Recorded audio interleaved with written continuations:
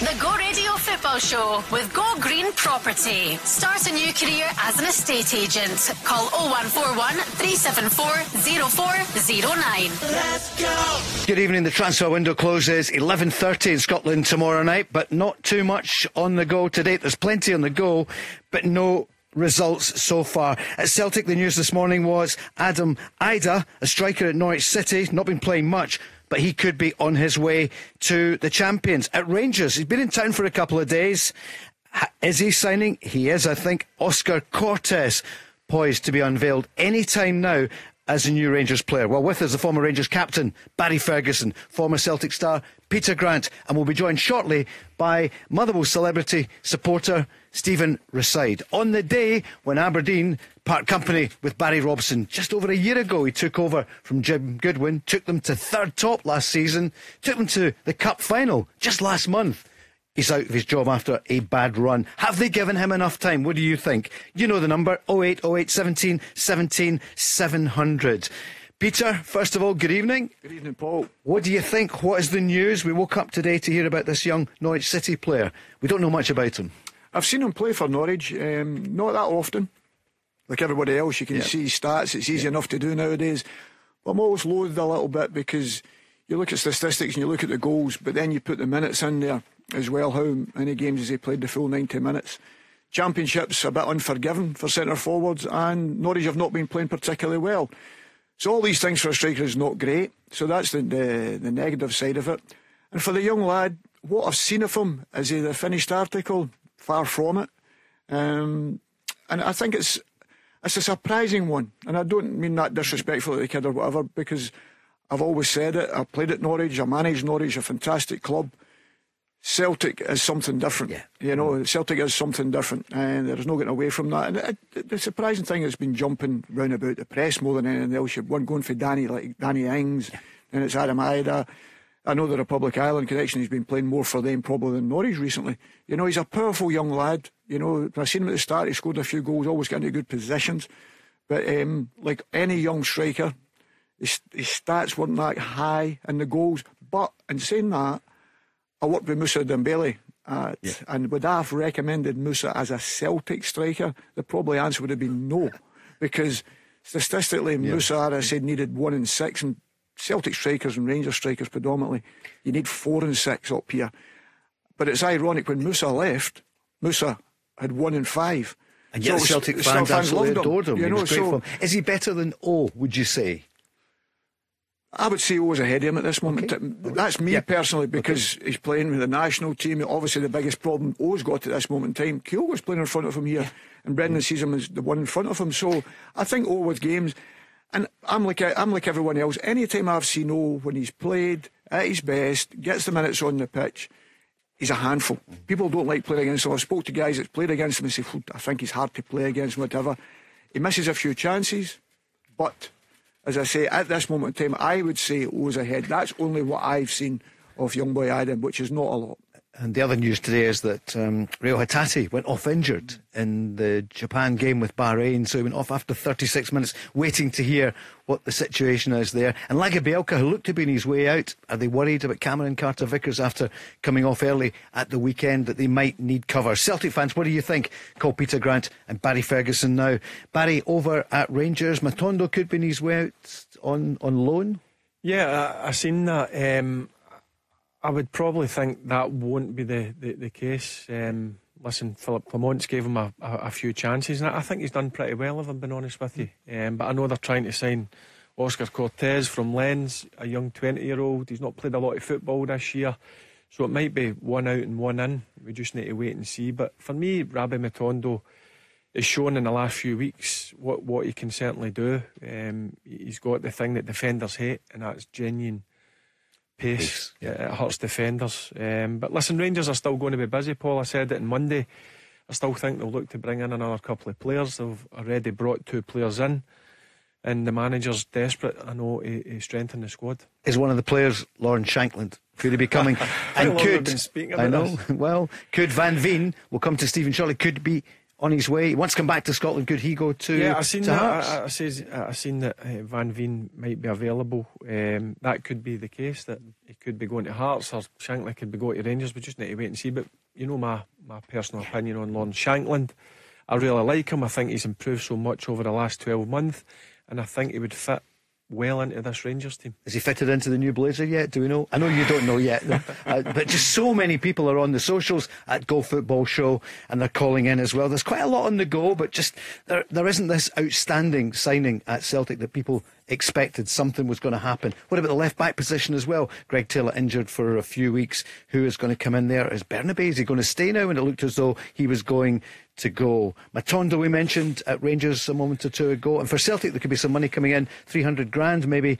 Um, should Sunderland be successful in the bid for Leo Hjelde, who was here a couple of years ago? And what about Jack Butland? We are talking about him on Monday about international honours. Will he be back in for England? And I see Forest went for him last night, but Rangers have said he's going nowhere. Yeah, and I think the Rangers fans will be absolutely delighted um, that Rangers have, uh, have said that. Listen, everybody's got a price in their head, Paul. If somebody comes in with an absolute crazy offer, I'm sure they would have to look at it. But I, think Jack Butland has come in the first half of the season and, and shown that he's a top class goalkeeper. Listen, he had big gloves to fill with Allan McGregor retiring.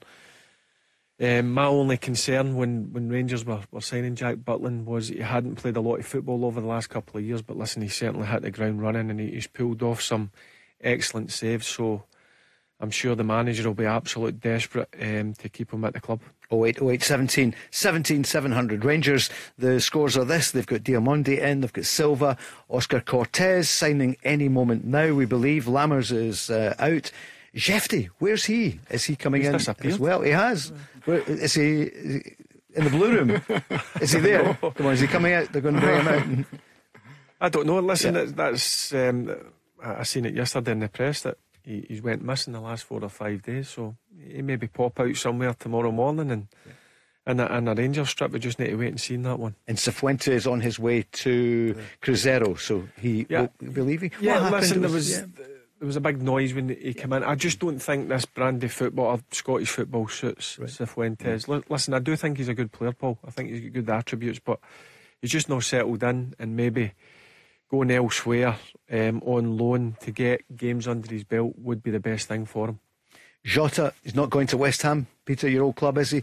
It seems to be a complicated tax situation because he's gone to Yeah. Saudi. Well, that's the biggest problem, Yeah. Paul. They said at the start you had to go for two years, so you're tax free money. That's what everybody was well aware of that, or you weren't earning. So, but I think Jota looks like a kid that would like to be playing football. But it's nice to see that if this manager's went in and put him into his league squad, that's important because he was born from that. and He was only allowed to play in the the, the cup. But then when I seen Benrahma or whatever you call him at West Ham moving to Lyon, I thought then there was a possibility of that happening again. You know what I mean? Because like say that's for the sort of position that Jota would play. You know, so listen, David him enough at Celtic. Obviously, watches that Celtic closely in the respect to that, and he knows how much he'd been able to do at his team. And listen, he's been a big loss to Celtic in the respect to that. Just his character, you know, his character was excellent for Celtic. He's been over there. He's had to deal with a lot early. So I'd be delighted if he's shown everybody that he's good enough to play. and there is absolutely no doubt in my mind when I've watched his team, he is good enough to play. a really talented young player. He's now just 17 that we spoke about a few months ago. We heard about him. It's the Queen's Park goalkeeper, Callan McKenna. There are three bids in for him from the English Premier League. Now, Barry, you've got to be some keeper to have three English uh, Premier League clubs in for him. Yeah, there's been a lot of noise about the, the young man, um, saying that he's got all the attributes to become a, a, a top goalkeeper. Um, and when you, you show that promise, that they're lurking about down in down in England, the, the, the big team. So I'm not surprised to hear that there's three clubs interested in the young the young man. And, and listen, it may be great for his development, going down to a Premiership team, um, training with top class goalkeepers. Uh, hopefully, bring his game on. But there, there has been a lot made of, of this young man. We, we heard that a year or so ago that Queens Park have got a, a proper young goalkeeper in their hands, and it looks it looks if he's he's going to be on his way. And uh, and if he does, listen, it's just about settling down and working hard, and hopefully we hear his name in the coming years. No, I remember young Peter when he was at Yeah. Queen's Park, played along with him as a kid. son, He was only a yeah. kid, he was through. And he said, This young goalkeeper looks excellent, Dad. He's got very good feet. I said, What about his hands? Because still, as a goalkeeper, you've Yeah. got to have good hands, Yeah. you know. I know the modern day game, you've got to be able to pass the ball, but Onana is one of the best passers you'll see. yeah, he's getting a hell of a lot of criticism for yeah. not keeping the ball out the net. So, as a young man, he's got a lot of learning to do. And I think if he's got the way the, the modern day games move with the, the, the playing with their feet, if he's got that and he can go and get under a top quality coach in the respect of that and work really, really hard because there's no doubt whatever team he goes to, he'll not be the number one. So he'll have a lot of time to progress with his main job is keeping the ball out the net along with the qualities he has with the ball at his feet.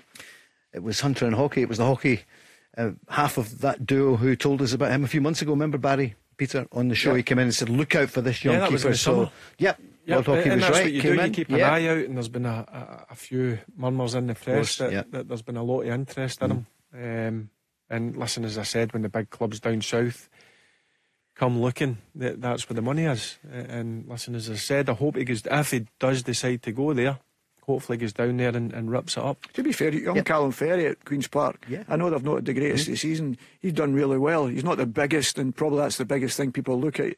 He doesn't fill the goal in that respect, but yeah. when I've seen him play, he's done exceptionally well also. Good point. Livy needed a win last night. They didn't get it. A draw 2 2 with Ross County. It's, it's not over for them yet, but it's looking pretty grim. Uh, and for Aberdeen, they needed a win last night against Dundee, but it ended up 1 1. Uh, what do we reckon? Who's going to be the new manager? Peter, is it, have they pulled the trigger too soon, or do you think it, it's right? It's really difficult, Paul, because I have sympathy very much with Barry in the respect of that. He's a big Aberdeen supporter. I know his character. You know, I worked with him a couple of months under Tony, and a fantastic character, great desire to do well and progress. And there's no doubt he would have wanted Aberdeen to be a fantastic success. You see the job he done last season. Mm-hmm. But trying to do it in both fronts this season has found it very difficult, and that's the problem. Is probably the distance between them and Hearts, yeah. the points. I know they think they've got three games in hand. Yeah. Did know, Europe take the stuffing out of them? Do you yeah, think? yeah, it's, yeah. Listen, it's very, very difficult. You know, when you're not you're getting to Europe, and then you're coming back. You're either playing on the Sunday, catch up again. You get a couple of injuries to big players. I watched the, the game last night, and they missed important opportunities. Yeah. You know, mm. Shinnie missed one early. So, you know, and you're thinking there's big chances in the game, mm. and that's the fine line. Duk didn't has not played obviously anywhere near mm. the capabilities that him and um, he obviously had last season. So that pairing as well. He could be off to the Spanish well, second well, division. That's what I'm saying. So you need all your players to be playing well. You can be sure. the best manager in the world, but you need your top players to be performing as well. And for such a big side, I've never seen a team struggle so, so poorly at set plays. And you see it last night. That's what cost them. Big Ashcroft, very, very good, yeah. at, uh, and the delivery was good. But they've got such a big side, you've got to go and heather it.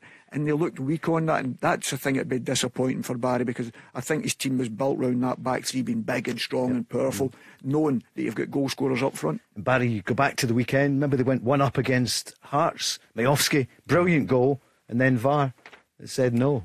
Yeah, just a, a, lot's going against Aberdeen yeah. at this moment in time, but he's only two points off the top six. I, I think yeah. Aberdeen need to have a look at themselves, mm. if, if I'm being honest with you. Since Derek McInnes has left, they've had three managers Stephen Glass, Jim Goodwin, now Barry Robson. And how long have they had? No, even a, a year in, in the job. Mm. Um, Barry had a, an experienced sidekick at the side of him, Steve Agnew, who, who knows the game inside out. I think you should have given him a bit more time if I'm being honest with you. But I, I think Aberdeen, I've I've not replaced Derek McInnes. Um, and, and I would imagine these managers that I've just mentioned, I would have signed two, three, four year contracts. And there would be a lot of payoffs in that. So there's course, a lot of wasted money. But I, I, think they need to get themselves together and make sure they get a manager. And when you go through a sticky patch, stick with him. He took them to a cup final. He, he, he did. And, last and month. He said he had a good season last yeah. year. Listen, it's been up and down. There's no doubt. With the budget Aberdeen have got, they should be up pushing Hearts for third place. Would you say they've got the third biggest budget at Hearts, probably just edge that? I, I, think it would be very close. Yeah. I, I, think two of them are, are, are, obviously behind Rangers and Celtic, so I, I think it would be. That's probably, that's probably when you're looking at it now, when you see them in 8th mm-hmm. that's probably the sure. biggest thing. Yeah. The chairman, that's the only thing I can look at because I can understand nobody will be working any harder you know, and you just need that. But listen, I've been there myself. Mm-hmm. I know what it's like. It doesn't matter how hard you're working, sure. the ball's not going for you. The ball drops in the box, yeah. it goes into your net. The fans don't give you much I was time just now about either. to say that, no. Paul. I think yeah. board listening to fans. They're obviously at the game. They're not happy with obviously the, the recent results, and unfortunately, it's a manager who suffers the consequences. Have you seen some of these job? guys with the flags? Baz? Yeah, it's they're, a, it's they're about 14 years of age. Mm-hmm. Yeah. That's the problem. Mm-hmm. They don't understand that there's somebody, the work that's going on. Is there improvement? Fine, I've got an mm-hmm. argument and say if there's if we're regressing and you're getting worse and worse and worse, then I can understand that.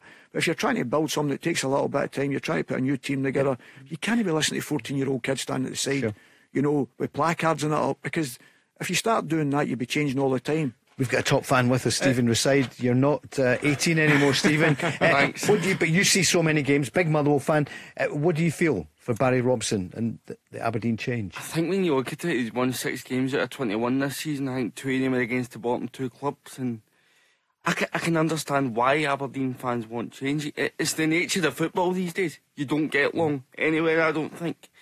Um, whether it's right or wrong, we could sit here and argue that all sure. day. But I, I do think Barry's got a point in the sense that the next appointment that Aberdeen bring in, it needs to be one that they give a chance. It needs to be continuity. I, I would go and get someone like a Stephen Robinson who is proven that he can do it in this league for long spells at Motherwell and, and now again at St Mirren. I think it would be, be an ideal appointment for them. Barry, um, what do you make of that, Stephen Robinson? Yeah, I think he's done yeah. a, a, really good job at, at St. There's no doubt about that. Getting them in the top six last year was a brilliant achievement. I think he's maybe looking and thinking, well, the last St Mirren manager went up with Aberdeen yeah. and, and lost his job. Yeah. He's, I think the board are back, well, trying to back him. There's not a lot of money at St Mirren, but they're, they're trying their best. And when you watch St Mirren, uh, they're very well drilled and set up. And I think if Aberdeen Colin, of course, it would be more salary for him, but I think he's at a, a place where he feels comfy and he feels wanted. Peter? Is that not the chief executive at Workwell? At, at Motherwell. Yep. Alan Burrows. Burrows yep. worked with him there. Yep. You know, but did you not sack him, Stephen? Yeah. Yeah. Well, he, I he think no, what happened was that Robinson walked away. Burrows was actually trying to get him to stay. Yes. Alan Burrows isn't one for. Yeah, I know that. the trigger very no, early exactly. there has been there has been pressure going on Barry for quite some time. Mm. I just wonder, would they go back in and try and get Derek McInnes back? I don't would, think would, Derek would go back. Do you know he can go back? No. Hmm? No. That's a good shout, though. Yeah. I think he's building something really okay. good at Kilmarnock. Yeah. I, I, think if you see them getting promoted out of the Championship, I think last year was make sure we stay in the Premier Premiership.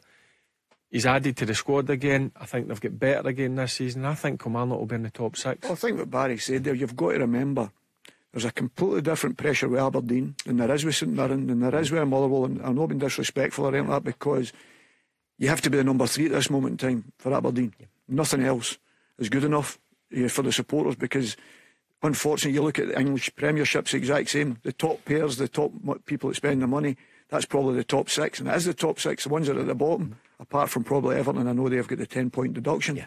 That's the way you see it. So, if Stephen jumps for St Mirren to Aberdeen and doesn't go off to a great start, whatever, you've six, seven months at it, it's not been great, all of a sudden bang, does that get pulled again? Because Barry was the opposite. He done fantastically well, caught hearts, qualified for Europe, done magnificently well in that respect. Yeah. Get into this season, it's not went swimmingly, and all of a sudden the trigger's pulled on you. And that's, I know that's football, but if you're going to get in, people, I believe the clubs have got to stand firm now and say, listen, we see the improvement. If they don't, fine, I can mm. understand certain parts, but, but what is the improvement? Yeah, yeah. yeah. What is it? Okay. You know, we've got yep. to Europe, we've got all the points up. Let's give them a chance to see if we can get out of this. How long we can go? They're not going to get relegated, that's for sure. sure. So they can can they build on it? And then become a club again that's going to be challenged, excuse me, because that's what they're wanting to be doing as a top two. And what's happening to Miovski as well? Is he on the way to your old club, Peter? Doesn't sound like it. It's been really quiet. We hear about the Norwich player. What do you think, Celtic fans? Rangers fans, what do you reckon? You feel, I think, as though it's been a decent window, but you still need, I hear Barry saying maybe one or two more to come in in the next, whatever it is, 27, 28 hours. 08, 08, 17, 17, 700. Stephen, we're going to talk about your club as well. Motherwell. Could it be Kevin Van Veen? Could he be coming back there? Uh, you'd like him back. Yep. Stating the obvious. is it what Groningen? What are they going to be? What's the latest today? The, the, latest is that they're willing to listen to offers. The only issue is Motherwell currently in the position where they're asking A-list celebrities for cash. So who'd be really got the cash to go out and spend on? Good luck with Kevin that one. Van yeah. with, with Listen, Stephen Paul's yeah. just down the road from Motherwell. Yeah, very good. He's a. Ask him for the money. The Go Radio Football Show with Go Green Property. Get in touch with the team and they'll offer expert advice on effectively presenting your property. Let's go! It's the Go Radio Football Show. It's Wednesday evening, 31st of January. January's just about come and gone. The transfer window though closes tomorrow. I'm not quite sure, Barry, why they do it the following day. Keeps it going, doesn't it? it used to be boom on the 31st, but it's tomorrow evening. Yeah, but I, I Yeah. think it's going to be a busy tomorrow. Yeah. If I'm being honest, I think there's going to be a few signings made by not just Rangers and Celtic, but I think a few clubs in the Scottish Premiership. Any word? We're on Lawrence Shankland watch to see if he could he be going to Celtic and backing up the wrong tree with that one. Do you think, Peter? What do you, re- what do you Oh, think? you, you never know when you're talking about top quality players. There's more than one club going to be interested. That, that's for sure. Could he do a job for Celtic? There's absolutely no doubt. He can score goals, and we said that before. If you've got a goal scorer, you've always got an opportunity. You have to create the chances. Don't get me wrong, but you've seen even his goal last week. You know the wee ricochet back to him, the way he finished it was magnificent. And I, think Barry said it, but in the last 18 months, I think his all-round game has improved. But the most important thing is not taking himself into an area of the pitch that he can't score goals. He keeps getting into the box to put the ball in the back of the net, and that's the makings of a very good striker. And as I say, Celtic or Rangers will be more than happy with him in their team. It's going to be vital, though, isn't it? Whoever they sign could be, you know, whoever, the, the collection of players they get now. Those are the players that are going to take you all the way to the line, Barry. Yeah, in the, in the next three um, or three and a half months, that, that's when it gets to the nitty gritty. It's Yeah. business time. Um, so the signings that they make over the next 24 hours, I think, could be crucial in this title um, race. And Peter at Celtic, Liam's been on asking, what did you make? We didn't see much of him at the weekend. Nicolas Kuhn and from Rapid Vienna. Yeah, he was sharp. You know, he played. He came on and played on the left hand uh, side to start with, then moved over to the right hand side. He was sharp, but as I say, it wasn't that type of game for him to really affect that much. You know, so it was very difficult. I wouldn't judge him on that, but you know, as you say, Celtic have got wide players. And that's why, as I say, I just feel as if the ball's still got to get in the box a little bit quicker when they get the opportunity. And to be fair, Abada, his final ball's not the greatest at times, but the one thing he did on Saturday when he got there, he was putting balls across early, and it makes defenders have to defend. And I still think that's an important part of football. So I, I, I liked when I actually seen Brendan put him on on the left hand side. He was a left footer because I thought, oh, he's going to go down the side. And his first one was a bit unfortunate. He's dinked it a bit too much on it because I think sometimes that's where you have to break defences. You know. Um, too many times now we've got the opposite foot playing in the opposite wing, and I think that closes everything up, especially for a club like Celtic, where everybody's playing inside the game anyway. It's going to be some weekend. It kicks off early, lunchtime, 12.30 kick-off. Aberdeen up against, well, who else? Celtic. There's always a twist, isn't there? It's either against one of the big two when the manager, Barry Robson, has gone. Neil Warnock's name has been mentioned because he's got a place in Dunoon. You never know. Uh, Neil Lennon, who's also linked with the Ireland job. He seems to be one of the front runners. Alex Neil name has also come into the frame. Um, you know how the table's looking at the top. Celtic on 57 points, Rangers on 52. There's uh, one game in it. Rangers have one game in hand. Hearts on 42. Killy on 32. And they're at Motherwell this weekend. Motherwell on 21 points. Stephen, what you thinking about for this one? Huge game for you. Massive game for us, but I think over the last four games, uh, the two before the winter break and the, the, the two after, we seem to have been turning a corner. I'm, I'm impressed with, with the additions that we've made. Uh, Adam Montgomery unfortunately picked up an injury. He's out for three months. But um, Andy Halliday, I think when you're in a bit of a dogfight like this, it's, you need something like that in the midfield. He's, I'm not saying he's anywhere near as good a player as Allan Campbell, but he's of that mould that he'll roll the sleeves up, get stuck in, and, and just keep things ticking in the midfield. And I think you need that. And that was evident in the performance by the team on Saturday against St Johnstone. We had Zdravkovski in there and Halliday, who just kind of kept things ticking. And we created loads of chances. Yeah. We're just needing strikers. That's- and we've lost three, and we've not got any in. So that's my main concern.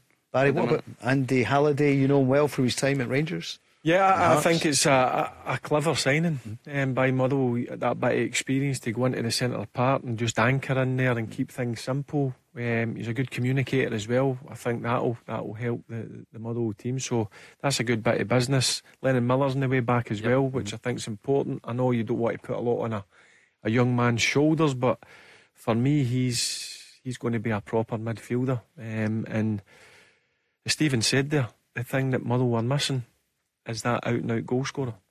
Could it be Van Veen, Peter? Yeah, What do you but think? also let's give him Motherwell a little bit of credit as well because Stuart was under a bit of pressure after doing ever so well last year, mm-hmm. you know, and he was under a lot of pressure with the results and whatever. And it shows you sometimes you can be one game away from it. You never know how close you are. He's brought in a couple of experienced boys and he got the opportunity in the window because But then he gets the boy back to Arsenal. I don't know how to say his name. Biereth. Biereth. You know, Yep. he'd, he'd done exceptionally well for them. You've got him for a season, then all of a sudden they pull him back after half a season, which is a bit unfair. I don't think that should be allowed. You've got to give Stuart Kettlewell great credit for that and the Motherwell board for standing by it because I think that's very, very important. We're talking about Barry Robson's situation, and hopefully Motherwell will see the benefit of that, the standing with Stuart, and get the results and the performances he's looking for. And then that maybe show other board members this is where you've maybe got to deal with. You've got to ride it sometimes because sometimes that's the way it is. And as you say, they lost Van Veen, was it 30 goals last year or whatever? And there's a possibility because I think his wife's Scottish, am I correct? That's right, his partner's just, uh, Scottish, a baby. wants the baby well. So here, yeah. Obviously, maybe there's a possibility that brings him back to the Scottish game, which he'd done exceptional last year, you know, to be fair to him. Stephen has said, where do you stand on the manager then? He gets so many plaudits, quite rightly, for that run early in the season. Well, there's money in the bank, maybe that way, in his personal kudos because of that. What do you feel? I think he deserves time, and I know there was that run that we went on, that 15 game unbeaten run, Yeah. but I think Stuart's undoing was the fact that we'd been on such a good run um, from February until the end of the season when he came in, and then we go on such a bad run. I think for the club like Motherwell, if those results were spread, you wouldn't be sitting there asking for his job or questioning it. So I think he's proved that, that he can get the best uh, out of his players. And you hear the way that the players talk as well. You can tell that they're playing for him. And I think to me, that's one of the most important things as well. Uh, I don't think we've had any luck with injuries either. Because Biereth got injured at St Mirren in the Cup, and then shortly after that, you lose Lennon Miller, two hugely inf- influential players on the side.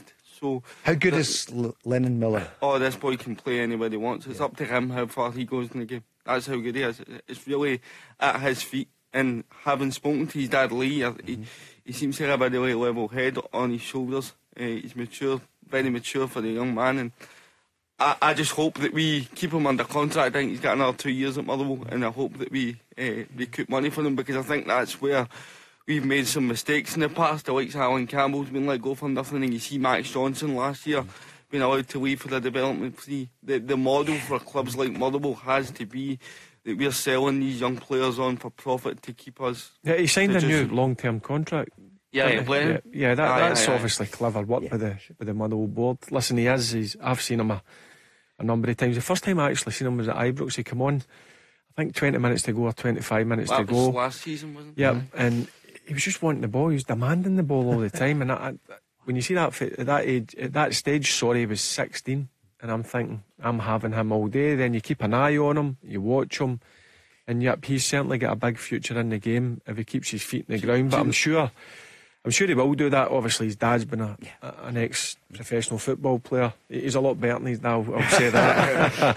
but no, I'm sure he's he's on at him. And um, if he does continue to work hard, I think Motherwell will struggle to hold on to him. But they'll get a decent fee where they can then reinvest back into the squad. And the clubs need it, don't they? Yeah, well, that's an interesting perspective that Stephen put on it there. I'm talking about the spread of results. Does that save your job? Go back to Aye, Barry yeah, yeah, Robson. sure. You Yeah. know, all of a sudden qualifies for Europe, the run he run last year. All of a sudden Mm-hmm. doesn't go particularly well this year. Doesn't matter. Out. See you. Stuart, it's a bit similar. Everybody was saying, oh, he's got to go, he's done this, he's not as good as last year. So, what is success now? And that's what I'm saying. So, when everyone's going swimmingly, I think there's got to be a spread. And whether that's results or performances, do you look at it and say, who did we lose? You know, how many players are injured? And I think that's what the Motherwell board have done. You know, young Lennon Miller started the season playing exceptionally well. You know, Biereth scoring goals. All these things, you know. And I think it's fantastic if you get that opportunity to try and build that. But I think it's people have got to look at it instead of reading social media. We all understand that. You know, could you imagine yesteryear, Sir Alex Ferguson being the manager of Aberdeen, seeing 14 year old kids with these banners, uh, banners? Yeah. He'd have been us, He'd give, give a them. slap. You know what I mean? Even if he was a He'd have manager. chased them, I'm sure, Absolutely. yeah. And that's what I mean. So you've got to be careful with what you, you listen to. You've got to be focused. If you're going on a football club, especially in a modern day game, it's so, so difficult now. And the same with young players. They've got to be able to manage that social media side as well, whether it's good, bad, or indifferent. They're, they're trigger happy up at Aberdeen. That, in my opinion, he's eight points off fourth place. I don't think they're going to catch Hearts, so their focus is make sure we get fourth place. He's eight points off two Kilmarnock games with two hand. games in hand, and uh, if he wins eight two games, then he's he, everything's okay. I, I think they've been far too quick, in my opinion. Stephen, you, you see loads of football. Yeah. Who's going to get down? Is it Livy? I, I think I can't see a way in which Livy survive. I don't see who they're going to bring in. I mean, when you hear David Martindale talking about the financial problems and then saying things like he wish he could sell half the players coming in interviews, does that really attract you to go, I'm going to go and sign for Livingston? I, I just think the position they're in it, it's a shame for them. I don't I don't see any way in which they can stay up. Now, but I'm grateful for that from a mm. Motherwell fans' perspective because usually when yeah, you go 15 sure. games without a win, I mean that's almost half a season. Yet we're still sitting five points off the top six, which is unbelievable to me. Um, so I don't see a way in which Livingston uh, stay up, unfortunately.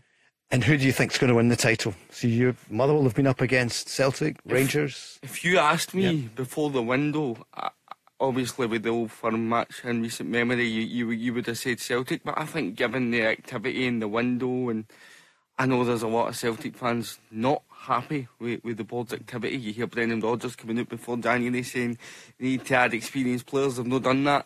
Um, I think Rangers have been more on the front foot, more proactive, and right now I would make Rangers favourites for the title. Peter, are you having that? Go, Stephen. are you Stephen? What did I say before? You've been feeding him drink yeah. since we came in here. Do you know what? See, before Stephen came on this yeah. show, I, I, told you he knew the game. he knows the game inside out. no, but listen, uh, you can understand it. As I said it last week, Rangers needed players. There's no doubt getting away from that. But we were hoping that obviously the points that we dropped at certain times, Celtic dropped at home, was big blow, you know, at certain time. Mm-hmm. Coming into this, I still fancy them because I think they have the quality in the, the, the, front line. I think they've got the quality in the middle of the pitch. They've got that. Rangers have done exceptionally well under this manager. He's given them a great belief. There's definitely a different vibe about them. I seen them at Hibs last week. I thought that was as sharp as I'd seen them for a long time. You know, they played with a purpose.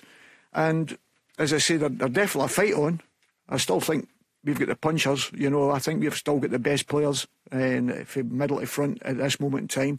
Carter Vickers will be a blow if he has got a slight injury, as people are talking about. That'll be a blow because I just think he gives a calmness to anybody yeah. else. Mm. But young Scales again, and the weekend I thought was excellent. You know, and as I said, there's a lot of fighting going on in this. As I said, the rest of the games we have to do, as Barry will tell you, you've got to look at playing everybody else and making sure you win their games. And Celtic have not done that at certain periods this year. That's the ones you have to win because I say about the Celtic Rangers games look after themselves. They always do and they always have done. You know, so it's the other points that you don't drop are going to be so important. Whether this window has a big influence on it, it'll be interesting to see because I think Rangers were short of some players, needed some in. Celtic have still got some players to come back. God willing, it's not like Hatate maybe come back with a slight injury or whatever. And you're hoping then they're like a couple of new signs to you because there is no doubt you've missed their quality. And I know their middle of the pitch has done well, but they've still got that wee bit of X factor as well. And they've held on to O'Reilly. We should remember Massive. that. Um, and Hatate, if people are just tuning in, he was injured yesterday playing for Japan against Bahrain, so we're waiting to find out. And you had an interesting point on that, Peter. If you're not playing that regularly, you're more liable to pick up a, a calf injury. Well, the problem you've got, Paul, is there's no doubt if you've not played in a particular game, you will train hard mm. after that. You'll you'll put, go through a physical thing, whether in the football side of it, then you'll be preparing for the match. You're still going through all the mental side mm. of it and the preparation. You can be called upon in the first minute, you know, or maybe not go on. But then the next day you'll have another session again, so you're never really off your feet. And especially him coming back after injury, because he really was just back. I'm not even sure if he was back his, from his injury before he went away. Um, so I think you've got to be very, very careful with that. Hopefully it's not too bad, and hopefully it's precaution more than anything else, because he's a top quality. But it's not only the fact if he goes and play, comes and plays back, he goes in and brings a different vibe oh, to the dressing room, yeah. you know, uh, to yeah. the dressing room, the training pitch, the quality goes up. All these things are so, so important. But Greg Taylor was a big miss on Saturday. For sure. We'll come back to that. Barry, you heard Stephen a few moments ago, and he thinks that Rangers five points behind, one game in hand, but they are on the way up and they're going to lift the title. Yeah, they're definitely on the way up. There's no doubt about it. I think it's going to get right down to the wire. That's my, my honest opinion. Um, I think it's going to go into the last couple of games of the season. Um, Rangers are, are, are, starting to get players back. Jack, Lawrence, Raskin. Um, the, the, the big miss for me is Sima for the next couple of months. So that's why I think they've went out and, and trying to strengthen in the wide areas. He brought 15 goals to the to the party. Um, he, he, was a, a big player, became a big player for Rangers over the last two or two or three months. But listen, all Rangers need to do, and I've said it, Granty's mentioned it, you focus on number one, and that's yourself. You just need to make sure you win games of football and don't look elsewhere. If there's points drop, you don't get carried away. And this is what I like about the new manager. He's very respectful. He's, he's very respectful about who he's up against in terms of Celtic, the players that they've got. Um, but at this moment in time, I'm sure that the, the, Rangers fans are, are, delighted. There's been only one blip, that was a game at Celtic Park. Um, it took a one bit of magic. Um, I know Rangers got a goal back, but to go two goals up right after half time was a sucker punch. It was a top class goal from, from Kyogo. But my honest opinion, I think this is going to be a really exciting title race. It sure is. Celtic fans have been coming on. Say they've been on for the last few days saying did they feel because they beat Rangers twice this season that that would be enough. But I'm surprised. I don't know what Granty's thoughts on it as an ex-Celtic player. I'm surprised that they've not went and got. Stephen mentioned that The experienced yeah. players, like one or two guys who I've been about for a, a, a, number of years who have got that experience. Um, I'm, I'm, just listen. That may change in the next 24 hours, but I, I did. I think that's the problem we've got everywhere, Baz. I, I, I, think Celtic were hoping that was going to happen, mm-hmm. and we said it even at Christmas time. It's not as simple as that because you'll see down in England now. I think it's is it 80 million. It's only been spent, oh, yeah. something like that, yeah. and it was 800 million last year. Yeah.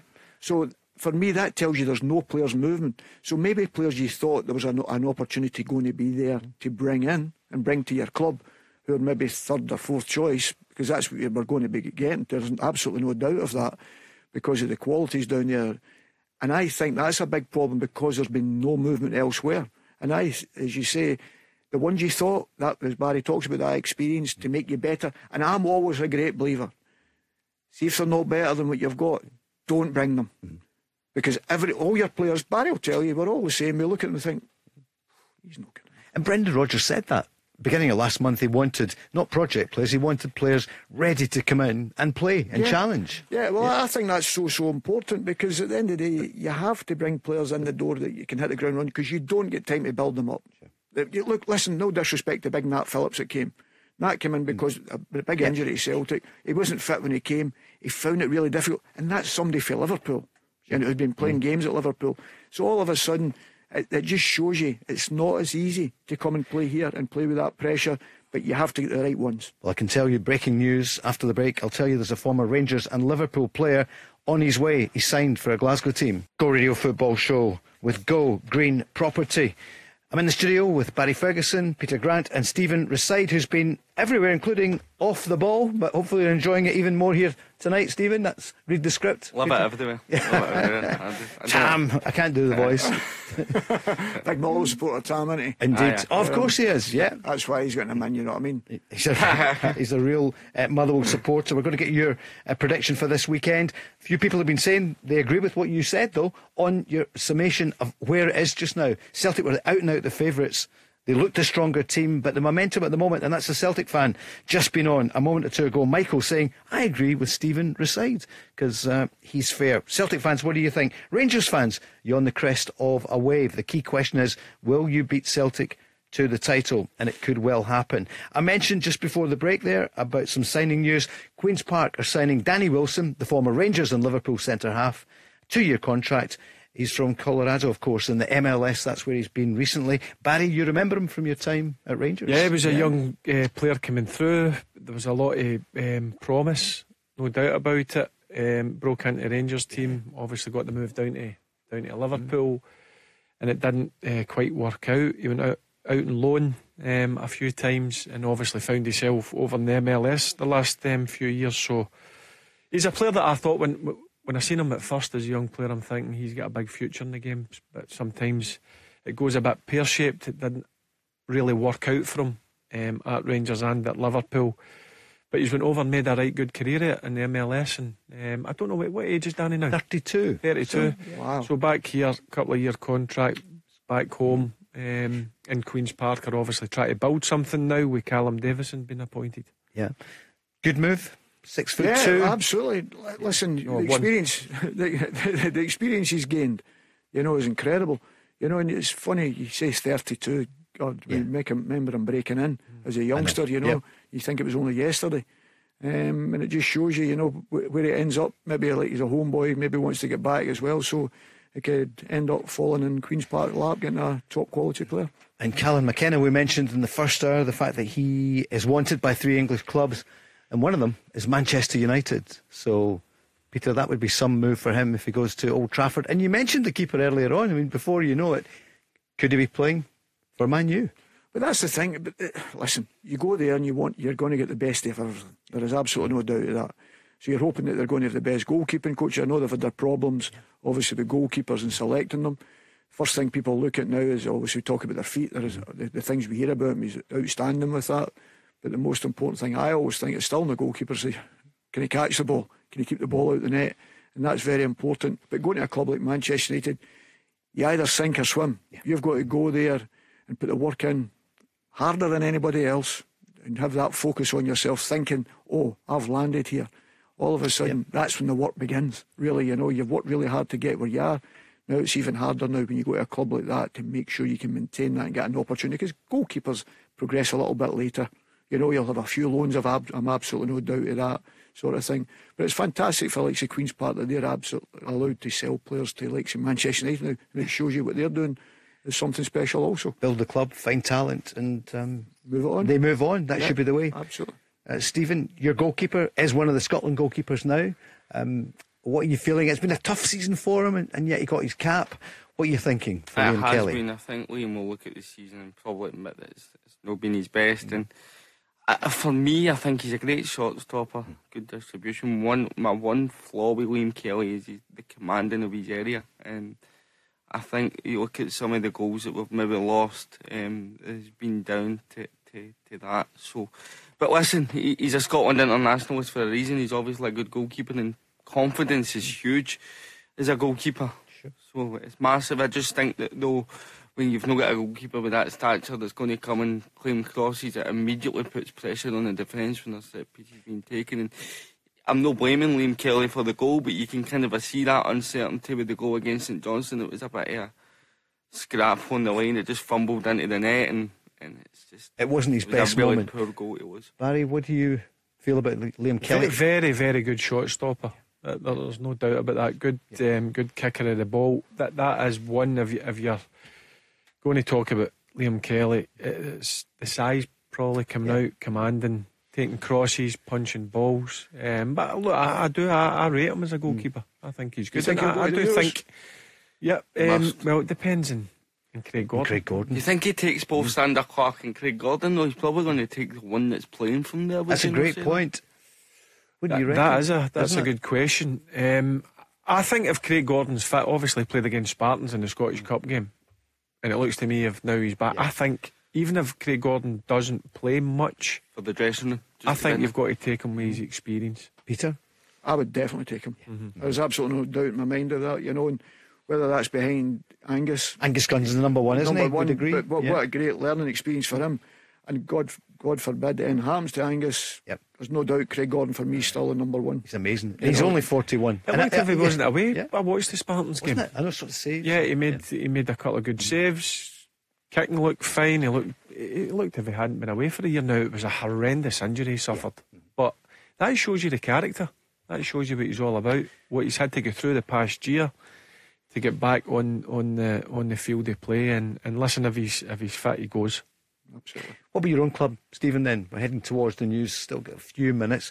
What are you going to see between now and tomorrow night? Is there going to be another striker? What's the word? I think we need two, really, because yeah. I think you look at the injury with John Obika's injured. Yeah. Theo Bair is the only fit striker that we've got at the club at the minute. We've lost Wilkinson, Shaw, Bair, so I think we need two. But then again, if you said to me you could bring in Van Veen, but you'll not get another one. Mm-hmm. I would take that right now, just because you know what you're because yeah. you know what you're getting. Yeah. You know what you're getting, but I just think we can't afford to just bring in one because what happens if he gets injured? Then you've got John Obika, who's hardly played 90 minutes this season, and Theo Bair, who we've only scored one goal last season, but has seemed to have turned the corner in a Motherwell jersey. But I think it's a lot to ask just to be relying on Theo between now and the end of the season. And Stuart Kettlewell, to be clear, you hope the club continue to back him. You're beginning to pick up results.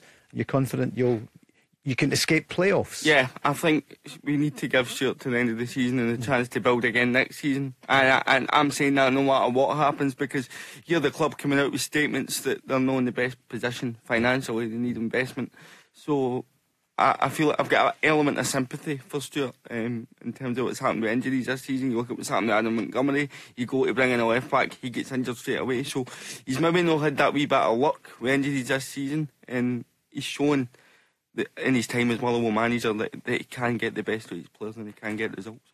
And for you personally, for people who maybe haven't um, heard you here or uh, uh, on off the ball or whatever, you've had quite a journey. You, so you were doing your your um, podcast, Yeah. um, and you were assessing the grounds around Scotland to see how they were, the disabled facilities were. We spoke to you two years about, ago about that, and it's grown from there. And you're Yeah. off to university. Yeah, we took a bit of break with the channel because um, my editor was me and my editor have been both been very busy. So it's, it's not a case of us not wanting to do it. That's always there. I just think I need to take the next step in my career and uh, hopefully doing this and, and, and going to university. So. A couple of good questions tonight. I'm getting slightly worried, but no, I, I'd, thought, I be you should move round to the front. I'd, be, del- I'd, be, del- I'd be delighted. Yeah, that, I would take that all No. day. Well, Granny. that- let's put it to the vote. That's three of us. For Stephen to go round to the That's front. me, you, Yeah. and Barry. Right, I'll be back we're after the news then. right? Just let him go home. And I'll tell you, um, I'll take him home. Well, he's been on and said, great question. You know, great point you made um, about Celtic. The, the fact that they, it's been an uninspiring window and the momentum could go, but it could Listen, change. it's going to be tight. change. It's going to be tight, and I may be wrong, Yeah. but I just think that better be momentum, wrong. momentum, feeling around the ground. You hear that toxicity between the Celtic fans and the board. I just think all of these are elements in the run-in, and Celtic have got a massive 24 hours, well, well 30 hours ahead. Yeah. I, I, I know the performance wasn't great. You, you were at the game, only seen the, the, the highlights. I think it was the booing and obviously what was going on in the stands was more directed at the board. I think. Yep. Not at the manager. Yeah, just not at the frustration players, that yeah. they, they want to see. You know what fans are like. They Sure. want to see. Yeah. And it's been well documented how much money Celtic have actually got. So I think it's more frustration from that side. yeah. Well, you, you miss the two penalties as well. You know, if it goes 2 0. And listen, a lot of what's on with Celtic, talking because we know talk about Celtic and whatever, you've got to be fair. They played really well, Ross County. Yeah, I thought sure. they'd done really well. You know, I've seen them uh, under Derek and they've got a few batons. And I thought they came there and had a go. They tried to have a go and try and put Celtic under pressure. The set plays were very, very good, apart from the last one where they thought was maybe their biggest chance, Yeah. right at the death, and they overhit it. Sure. You know, so wee things like that. And that, that listen, some of the, the games at home they've not played well Yeah. at all. Mm. We, we There's a spark missing, isn't yeah. there? Um, and that, but that's what I'm saying. You could go 2 nothing up, you score right away and you mm. think, game over. You know, it could be five or six here. So all these wee things happen. And obviously, you're not playing as well as you would mm. like to be playing. Then you have Rangers coming as well in the respect of, you know, they're getting the points, they're getting a wee bit of momentum mm. and whatever. So all these things, that is Celtic and Rangers supporting, playing, whatever you want for them. As soon as you feel you're under a little bit, oh, we're not doing enough. Mm. It's a bit flat at the moment. Can we come back to that in the next hour with you Yeah, and sure. Barry? Stephen, before you go, and the uni, what's the course you're on? It's uh, a TV and radio broadcast production at University of West Scotland. I'm not actually in yet, by the way, but I've, I've, I've applied in. Oh. Hopefully, I should get in. Let, on hope you're in. football show. Yeah. and, and Stephen, as a wee fella, you, you were kind of, you know, you were written off in some ways, weren't you? You've, you've said that on here before. You're just an inspiration. No, well, that's for other people to say. That's Yeah. not for me to say. I've Well, never I'll let my say dis- it. I've Yeah. never let my disability define me. My disability, it could have happened to anybody. So listen, I'm just hope that people like my opinions and think know what I'm talking about. So Yeah, I'm just the same as anybody else. trying to win the exactly. That's exactly. What's the prediction then for this weekend? Motherwell against Kilmarnock. I think it's another draw, and I'm only saying that because I don't know who we're going to get in. So I'm, I'm, I'm going to go one each. Going to go one each. Peter, what do you think for that one? Let's do that. Well, Stephen is here. I fancy Kelly 2 1. Do you? Okay. He's been- that's because you said- That's because I said Celtic only going to win the week. You're trying to get back at me here. No, because something you said, if you think your goalkeeper's are a bit small, uh-huh. the one thing oh, Derek's team they're very good at is set plays. But, oh, You know, Barry, what do you think? I'll wait till the window closes. That's I'll give you my opinion in Friday. the wisdom. Stephen, thanks so much for joining us in this hour. And we'll speak to you. We'll hear from you soon. The news is next. Then we're back. There's more. We're watching the window. The Go Radio Football Football Show with Go Green Property. Unlock your potential and join the team. Recruiting real estate agents. Call 0141 374 0409. Let's go! We are keeping our eye on the window. We being Barry Ferguson, Peter Grant, and Paul Cooney. Stephen Reside was with us in the first hour. He's looking forward to Motherwell against Killie at the weekend. Any update in the window, Barry? Just checking in the last two minutes on the news? No, no, No? just um, just going through the internet to see if anything's happening. Nothing's happening. But what I will say is, Stephen, very good. Some really good points. Um, Aye, all right. And hopefully you take him up on the, the offer where he can replace you. I, be, it would, Give you a I wee think break. a nation, generations would say brilliant. Absolutely. I love Best, it. best I've heard. Best questions, Wasn't it? best answers. I agree. He This is knows his Godfather. stuff. This He- is a Godfather radio over here. Yeah, absolutely. Must be some reason Well, I remember on. when I Yeah. was a young player, Paul was leading it, and when I was young. I, I was the young reporter the day. I know I've told you that the day. I, I was at You've actually got better as you've got older. in what department? And I remember that day, yeah, breaking news a young 17 year old player for Celtic, Peter Grant, we'd never heard of you. Jimmy Nicholl, it was one of his last games at It was, uh, he went back, Rangers. he got sent off Aye, that day. did. I remember that. Stood in Brian McClair. Yeah. And I got an interview player, outside. Jimmy with- Nicholl. Yeah. I was in among the fans as well, so the Rangers fans came in and said, Jimmy Nicholl, yeah, he's a great, a great Rangers player and great something else he said as well. It was hilarious these days, things you can't say. But just people, honest people, going to the game, looking forward to it. There was, what, 40,000 Rangers fans, there would be 8,000 Celtic fans. In those days, but The listen, good that was days. then. But listen, Stephen, I hope he gets that university course because Yeah, it is absolutely. brilliant. Well, listen, You know, I'll that- tell you what, the way Yeah. he spoke there, it's the Yeah. first time I met him. He was Yeah. outstanding. I thought. I thought he spoke exceptionally well. As you say, he knows not just about his own club, he knows about other clubs and what they're going through. And he speaks, he speaks like a supporter in one way, but he understands that the pressures that come when we're not getting results as well. He understands that managers need time, as we've spoke about, because we think that's important. Because there's a lot of young boys getting jobs now. Yeah. And it can be their first and last job, unfortunately, because that's the way. I know what it's like myself, so how difficult it is. And I just hope that some of them get more time because they do. They're going to make mistakes. There's going to be bad runs, and it's how they handle that. Sometimes you see the success, and that's why you've got to tip your hat to them all what they've done with Stuart Kettlewell during that difficult period. Of course. I know he's old man Yeah. as well. He's old man. That's right. A coach. Coach, yeah. yeah. I've bumped into him a few times. Bill's nice great, guy, isn't he? Yeah, Yeah. two uh, real nice guys. They're in the car now on the way and tuned in, tuned in somewhere else now. No, I'm joking. I'm saying you better, they better be on here for sure. Uh, um, headlines today. Well, n- there's no major signings uh, at the moment, but we woke up today with the news that the Norwich City striker, he's not their out and out striker at the moment, that he could be coming to Celtic. Is that the case? Adam Idah. So, some interest in him from abroad. 22 year old, you said that in the first hour, Peter, Republic of Ireland striker. Um, what kind of player is he? I'd say he's more of a powerful striker. You know, one of these ones more direct. I wouldn't say he's a link player in any shape or form. I think he likes running and seeing the goals. I think he's one of these guys. If an opportunity, if he's not got a lot of time to think, I think that's when he's at his best. You know, some strikers, if they've got a lot of time to think, they maybe Yeah. take two touches, three touches, and then not hit the target. I think he's one of these ones that's more off the cuff. You know, just going bang, it's in the back of the net. That's on what I've seen of him at Norwich and the games I've seen. And predominantly, that's been highlights. You know, at the time. So, as I say, I, I'm looking if people say is it power. Well, I'm looking at O. I think Oh's got that power, and maybe it's because I like O in the respect to that. I think he, as I say, it's certain things he does. Kyogo's the number one by far, but there's certain things that O does, and as I say, I always judge it on. I've spoken to defenders that play against him, and they don't like playing against him, hmm. and that's always a good sign for me. You know, if defenders don't like playing against you.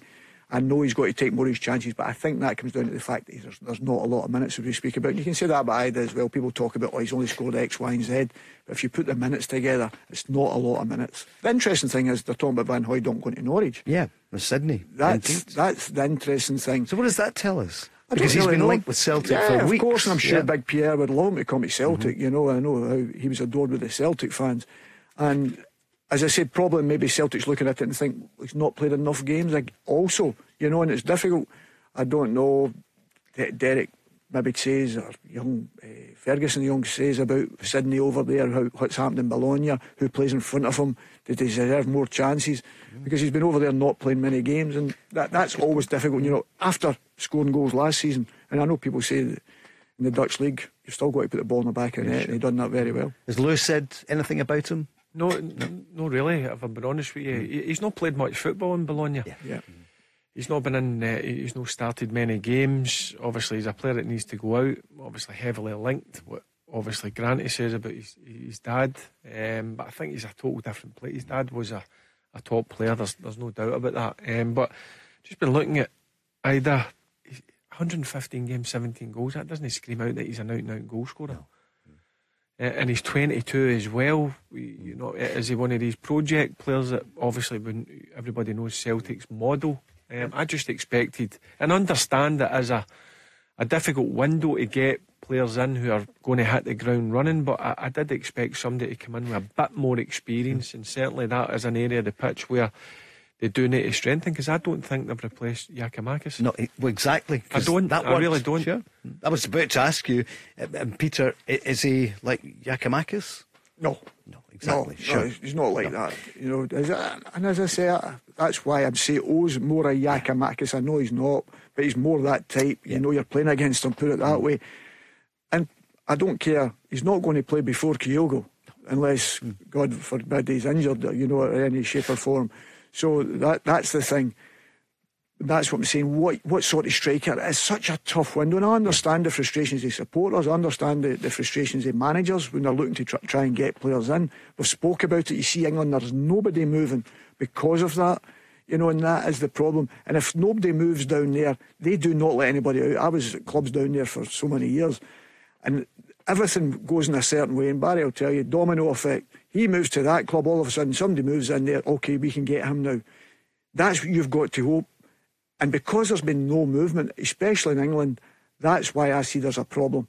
You know, and not be getting the, the transfers even up to here because there's been no domino effect because nobody has knocked that first domino down. Yesterday morning, people were saying, is it Danny Ings? Is he coming? Hmm. Could he not maybe have come in alone, or is that just uh, pie in the sky? Rangers have brought in Silva, not such a big name, but a £33 million player, and Rangers must be paying a fair whack of his. Yeah, they'll be paying a fair whack of his salary. I, I, I, I don't think he's an out and out number nine. I, I think he's more playing off the left or off the right or just behind a a, a main striker. But listen, it's still a good signing. He, he has played a few games for Wolves, um, and it's still early stages. But I'm sure the Rangers fans will be expecting him to, to start producing the goods in terms of scoring goals. Diomande's um, a good player, Paul. He can handle the ball. The only problem when I, I, I mentioned to the manager when I bumped into him on Friday night at the Burn Supper, he did say that physically he's still got to get there a wee bit. Um, so that may be a, a kind of one that they're going to work on and hopefully look look ahead to the, the, the following season. But he's certainly got the attributes. Uh, Diomande. Um, And he, what, about, he looks apart. what about Jefté, left back? I know it's I- gone quiet, I, but I get, it's, it's Yeah. difficult to. I mean, I'm like everybody. I go on the internet and you have a look at them. Eh, uh, MD can look good on, on the internet. um, but listen, it's a player that he, he has tracked, um, and he obviously sees it uh, as a. Sorry, he sees him as a player that can certainly strengthen the, the squad. We're still waiting on what's going to happen with Ridvan. And Barisic has, has obviously been allowed to to go into the, the final months of his contract. Um, so that'll be interesting the next 24 hours to see if either they two or one goes out the door or even the, the two of them go out the door. You think that's what they're waiting on? That's what I'm saying, Paul, about this domino effect. That if one goes out the door, then they can bring this boy in. I mean, see, in So I terms think of it'd be Ridvan, crazy. Grant, I, I've watched him the last few games. He's impressed me. He's looked the part, Ridvan. Yilmaz. Um, yeah, yeah, Yilmaz or Sorry, Ridvan, no, whatever, yeah, yeah. whatever Yeah. we want to call it. Going forward, I certainly like to look at him. Defensively, is he physically big enough and strong enough? I'm unsure, but going forward, he certainly looks apart. We know what Barisic can do, but I think he's getting into the final month of his contract. I think he's looking to go elsewhere, whether that's in this window or obviously the summer. And Peter, you mentioned earlier, same position. Um, Greg Taylor's injured. Bernabei played at the weekend. I mean, it looked as though he'd be on his way out. But Yeah, gonna it's a, stay? it's a difficulty because all of a sudden you think they're going to go out the door and then you get- Greg gets the injury. But it just shows you how important he is because I, I think he does a lot of good things that goes unnoticed.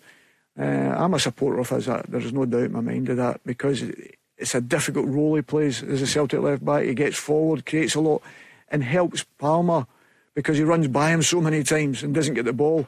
And I just think you realise that on Saturday how big a job it is for Celtic and the role he does. Yes, you're, you're always looking to improve areas of the field if you're going to get better. That's the way football is. And as a football player, you've got to be playing at your best all the time. So I understand that. The problem is, if they let him go now, then you'd be playing a right footer on the left hand side because there's no doubt in my mind Tony would move over Tony Ralston because that's what I thought, as I said last week here.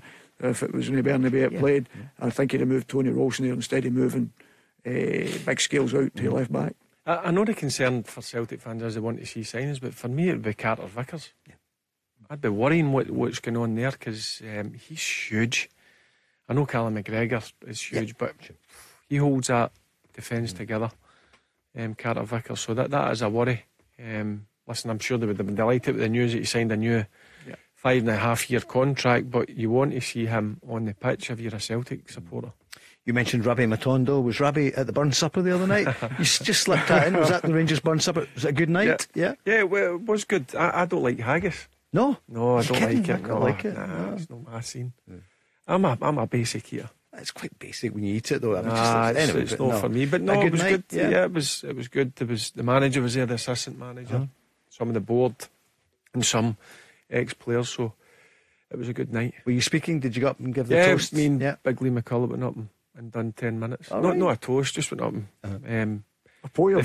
They, they fired a few questions, answered a few questions, and listen, it was good. Good to see some uh, DJ was there. Derek oh, was Johnstone. Big Derek? How is he? Yeah, yeah he's, he's looking good. Good. Looking yeah. good. Um, there's a few other ones there. So, and I, had a, another brief catch up with the, the, manager. Just he was mentioning about. Uh, I was asking about Diomande because it's obviously a midfielder, and you, yeah. you want to know what his background is. Because obviously I've been on and had a look at him, and he says that he's he's got big expectations of him. Um, just physically, he still needs to get there a wee bit, but he's a player that they're they're keen on getting in.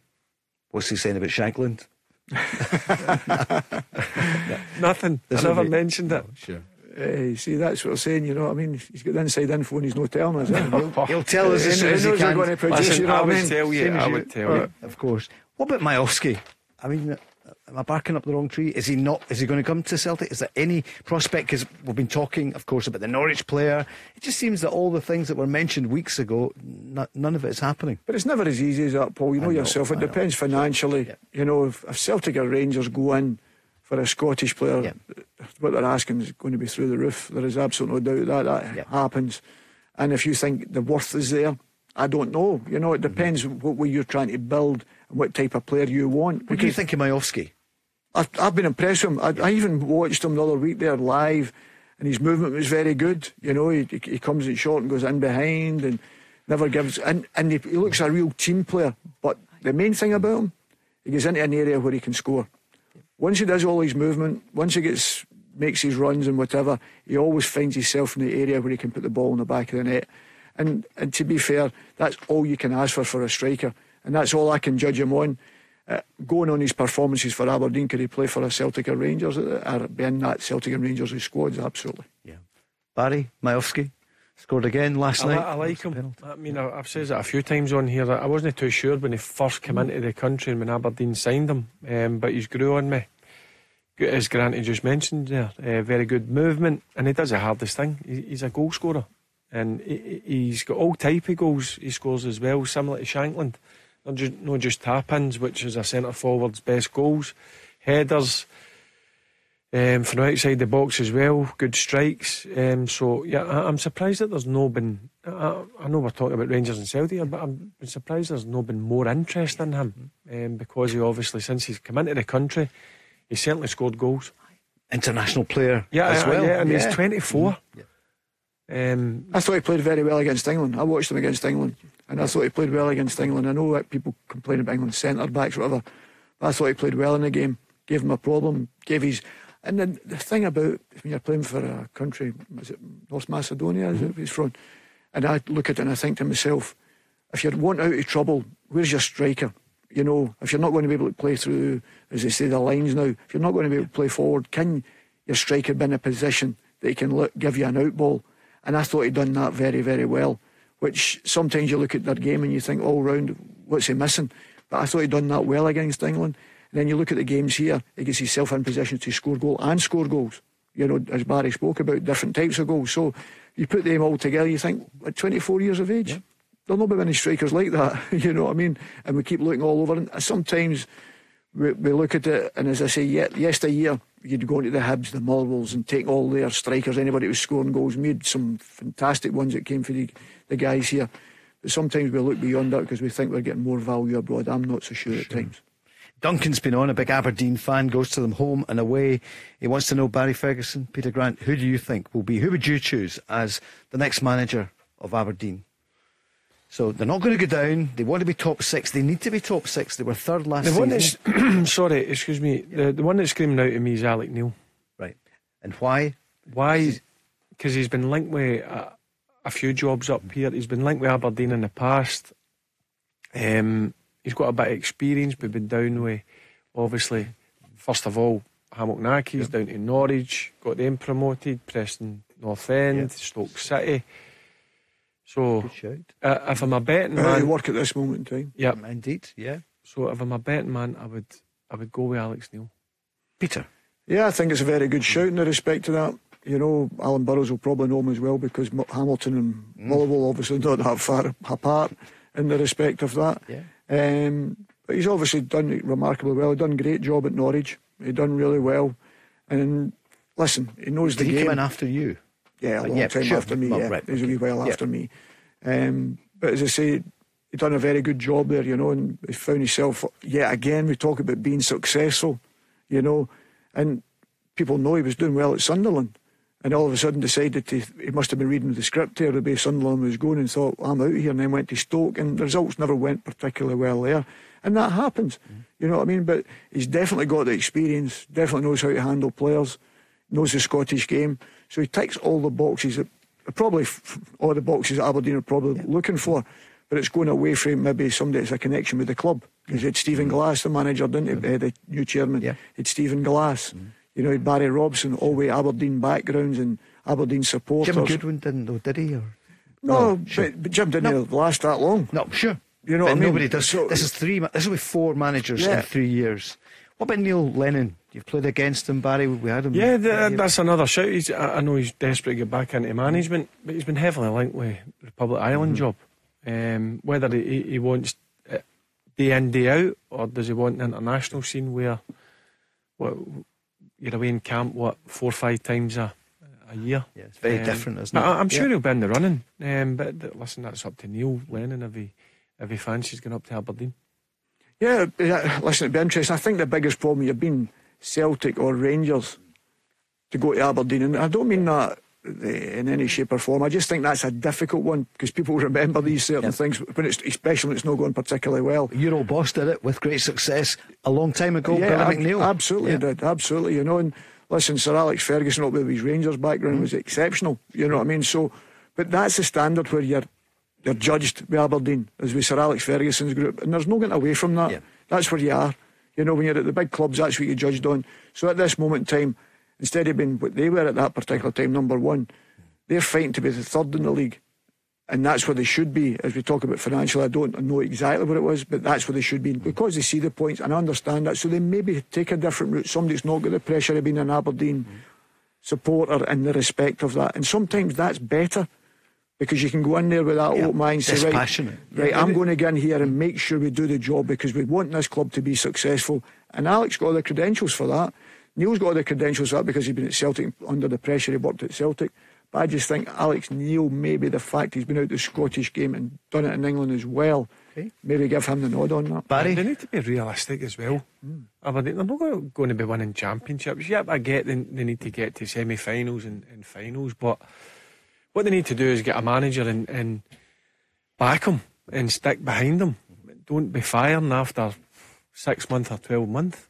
Look, look, look at the success they had. I, I know that. How many trophies did Derek win? One. He won one. I know was, he got to finals sure. and, and yeah. whatever, but that was an eight-year period where they stuck behind him and backed him. And I think they need to get back to that. But what is success, Paul? We're talking about Queen's Park now. Callum Davidson. He's won the same amount of trophies as Rangers. No last. Um, is it two? Um, Two. no, Rangers get three. Rangers get Uh, three. because obviously Uh, the yeah, title, yeah, yeah, yeah, Scottish Cup right. and the League Cup Yeah, now. But you're right. Until a few Uh, weeks ago, it was yeah, the same. saying when he was at St John's, I'm talking about. I know. Yeah, yeah. So all of a sudden, Yeah. within we Yeah. go a little bit of period of time without winning games, he's out the door. The most successful manager in their history. Mm-hmm. You know, that shows you the fine line now.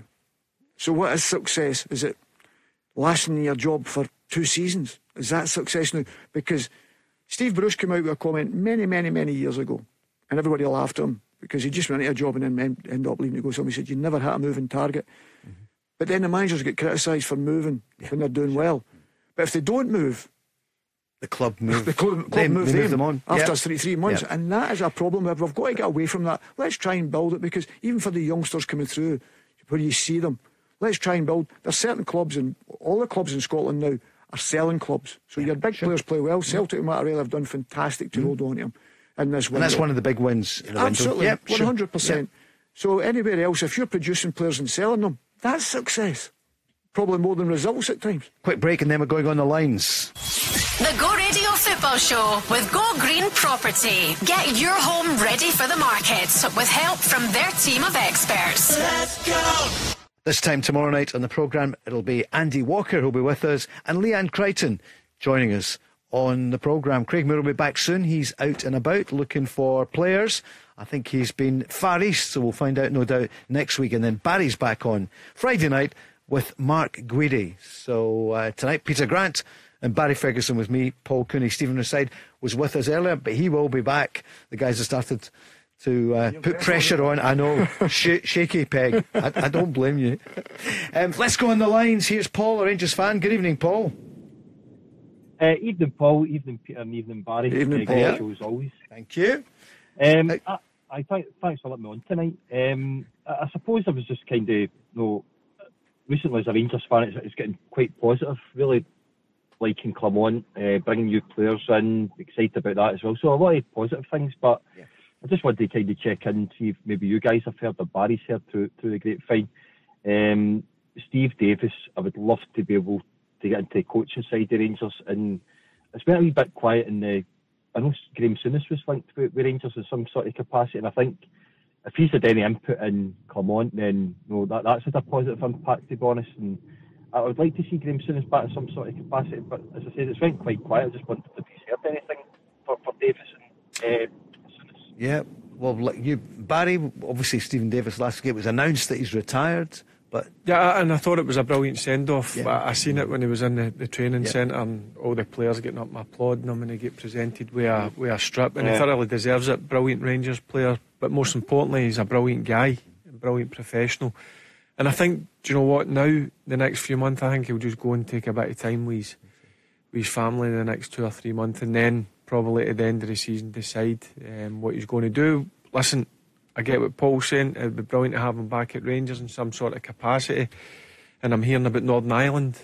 Um, Mick O'Neill maybe want to bring him into that scene. I can see him doing that as well. So we just need to wait and see. But um, just speaking for a personal note, it was a brilliant send off. And it's, listen, 39, he, he's done brilliant to get to that age. But the last years just took its toll on him. He's, he's obviously found it difficult with the serious knee injury he had. And and I think he's made the right decision for himself and his and his family. because he tried everything to come back. he did. He, Barry? he had another operation. He'd done all the rehab stuff. But listen, sometimes you just get to an age, Grant will tell you, where it just doesn't feel right, and you just can't go and do what you you could do previous years. Uh, and listen, you've got to make that tough decision at some stage. Is the hardest decision, I think it's a right one for Stevie Davis. Um, the decision was made for you, wasn't it, Barry? In your career, You- Yeah, it was made by the surgeon. Yeah, he at 37, he just told me after my last operation, look, it's, if you want to try and play in charity games or play fives or sevens or get out running or do a, a bit of walking, you need to give it a buy. And um, listen, it's, it's tough. That first 24 hours it is is so sore because that's all you've known all your days is, is going in and training and, and playing games of football. Um, but at the back of your mind, you know at some stage it, it has to happen. Every professional, it's the hardest part, but that's the beauty of having a good family round about you and good friends. That's what you need, and I'm sure Steve. Well, I know Stephen Davis has got that. And is that what you did? You turned to your family, your wife, the kids, your mum and dad, your brother. You, you didn't just hold it inside you. Did you speak to them about it? Yeah, but I kind of knew in the back of my mind when I'd done that injury, it was down at the den against Millwall. I knew as soon as I, I I'd done my ankle, I knew I had to go in for another operation. You know what it's like, walking off, limping off, and I knew um, after that surgery, I kind of had it in the back of my mind that that was going to happen. Um, and listen, the surgeon was was just honest, and that's all you need. You need honesty. And when he told us that was it, I had to give it a buy. Um, listen, you, you know it's tough, but listen, you got, need to go on with it. It's a short Sure. career, but listen, I wouldn't, What a wouldn't career. change. It's a brilliant. I, I lived my boyhood dream playing with the team that I supported. Peter, another Lanarkshire boy, you lived your boyhood dream as well. Yeah, I was very fortunate, Paul. I was out a few times, probably lost about a year all in in. A year, no injuries and illness. Um, so I was quite fortunate that way. But I've been the other side, you're talking about family. My oldest boy, Peter, had two ACLs and a snapped Achilles. And my youngest one just recovered after a year. He's been out for a year as well through the period, the same as, as Stephen actually. It was just a, I think Stephen got it a couple of uh, weeks after it. But I think Philippe Clement has already said about Stephen getting back in. He used to go away and think about, and then he said there will definitely be a place for him at Rangers. And we spoke about it last summer, you know, about Stephen Davis and how important they were, you know, round about that group. And I just felt it looked from the outside that they were too distant, and I thought Michael Beale at that particular time made a boo boo on that. I think the likes of Scott Arfield and Stephen Davis could really have helped him round about that period. And I think that's where he's been quite cute this year. You know, keeping the likes of Alex Rae, Ed Stephen to help him with the first few games, and then Stephen just wanted to continue rehabilitation. And I think that's so important. You know, I think it's so, so important because there's certain things you, you think you understand, Yep. but Glasgow is completely different. You know, it is completely different. There's a different type of pressure comes from Glasgow and the expectation and what mm. the do's and the don'ts, mm. you know, sort of thing. And listen, could you imagine a Celtic or a Rangers player doing what Marcus Rashford done, you know, the other night there on a Thursday night at that particular time? I think everybody would be up Yeah. arms. But not only that, supporters would be letting them know. And, and that's what I like about the new manager. He, he gets it what Shoes meant. He understands it. He needs to have people run about the club that, that understand it. And, and he's no shy with asking, as, as I said to you. That, I mean, I, I you're around in- the club now. Yeah, and I bumped into him in La Manga, and, and you know what? I was so impressed with him. It's, he's very respectful of the Scottish game, and that, that- that's what I liked about it. He understands that there's going to be tough times, but he understands he's here for a reason, and he's here to win games of football. Um, and um, he's totally getting it. And as I said, there's been only one blip I can see since he's come in. It's still early doors, and, and that's another thing. He totally gets that. There's still a long Yeah. long way to go before he gets to where he wants to get to. But listen, the Rangers board are trying everything in their power to try and back him. And then I think you'll see that again in the mm. summer. Paul, you've asked there about Graham Souness. He's not been mentioned for a couple of mm. months, Barry. He was big on the Philippe Clement appointment. He was part of the process as well. And that's another thing you've got to give the board credit mm. for. They went and asked somebody who changed the Scottish game. He come up here and, and done a brilliant hmm. job. So they went to him to get his opinion. Listen, it, it falls on the, the board to make the appointment. But I like the fact that they're going and asking experienced guys who know the game. And certainly he was a. Well, I think that's what, I think that's what they've done well because Graham came out hmm. and said that he said Frank Yep. Lampard. Mm-hmm. You know, but he said he was really impressed with Clement. Mm-hmm. But he thought Lampard had that hunger in his eyes as well. He said, but I was really impressed with him. But it just shows you the board have been strong on the appointment because it okay they'll listen to you, but we're going to make this appointment. And I think if I'm right, was it the chairman was speaking the other day? They're saying it was more of an interrogation. They knew the limits. Uh, he knows the limits that when he spoke to Clement, he said to him, he must have been telling him, this is what you can spend on players, this is the sort of salaries we play, this is the sort of league you're in, all these things. So he was well aware, so there was no excuses in turning back and saying, oh, well, you never told me this, I thought I'd be able to do this or that. And that's the way, I think it was the chairman of Rangers said that the other day there. Is there a place for Graham Souness at the moment? He's always welcome there, but do you Yeah, expect but him? I, I think it's. I- I, I don't know. eh, I'll, I'd be lying if I says, yeah, he's definitely going to come back in, or he's, he's not coming back in. I, I, I think talks are maybe still ongoing. We just need to wait and see. Um, I, I really don't know. Uh, but what I do know is that the Rangers have got a manager in place that, that certainly knows his way about the, the, the game. There's no doubt about that. Paul, where are you about Cyril Dessers now? Scored again. Nice one, Cyril. The fans were singing. You might have been one of them at the weekend. And what are you thinking now? Is it, have you found He, I, Barry's column last Friday was talking about Mark Hateley, and I remember when Mark Hateley came, huge reputation. Took him time. Hey, can I just say, I'm Yeah. not saying he's in the same level as Mark. I said that in the I column I because I, had a few people saying, "Oh, he's Yeah. Putting him against Oh, Mark sure. Hateley." I was just saying, Mark Hateley had a tough first year, and look what he turned out to be. He was an unbelievable player, not just for Rangers, but for AC Milan and Monaco and, and England. But I've seen something in in Dessers the, the last couple of months. I've seen an improvement. I still think there's a bit to go in him, but I think his last two goals, the one at Easter Road, I thought was excellent, but that goal in, in uh, Saturday against St Mirren was a brilliant touch past the goalkeeper and how quick he took the finish made um, was a was a was a brilliant goal because if he took another extra touch, the St Mirren defender was in and he would have cleared it off the line. And I think his all round game is start you're starting to see signs that there is an improvement. And then you read the obviously the, the papers and say that the club's interested. in elsewhere. Yeah.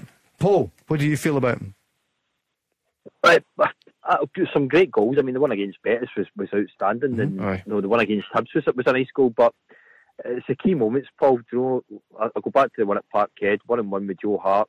To me, if it was Lawrence Shankland, it would have been in the back of the net. You know, so I'll wait to, to the big games, the key moments. That that's where I think that will kind of come. But listen, maybe Salford might make a difference as well. Maybe you know Cortes and these other players come in mm-hmm. might make that wee bit of difference. And, and Clement is having a a positive effect on quite a few players. And you, you see that when new managers come in and things like that. But I think Clement's a wee bit, as I said in your show before, it, to me, I'm not saying he's in the same mould as Walter Smith, you know, legend and everything else, but he might be the first proper manager that Rangers have had since Walter Smith in the sense of what I mean by that is managerial experience. You don't walk into a Monaco job for nothing. He, he's won titles over in Belgium and things like that.